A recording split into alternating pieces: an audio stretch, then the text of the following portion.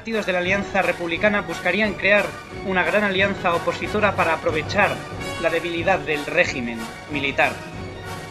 Con este objetivo firmarían, junto con el Partido Republicano Radical Socialista de Marcelino Domingo, la derecha liberal republicana de Niceto Alcalá Zamora, la Organización Republicana Gallega Autónoma de Santiago Casares Quiroga, varios partidos catalanistas y algunos socialistas a título personal del Partido Socialista Obrero Español el Pacto de San Sebastián, mediante el cual intentarían derrocar a la monarquía mediante un golpe de Estado que fracasaría y que obligaría a Azaña a esconderse en la casa de su tío. Berenguer, mientras tanto, sería sustituido por el general Aznar Cabañas, que organiza elecciones municipales, en la que los republicanos quedarían igualados a los monárquicos. Estos, los republicanos, ganarían en las ciudades, pero perderían en las zonas rurales. Estos resultados causarían la caída del gobierno y de la monarquía, y el establecimiento de la Segunda República Española.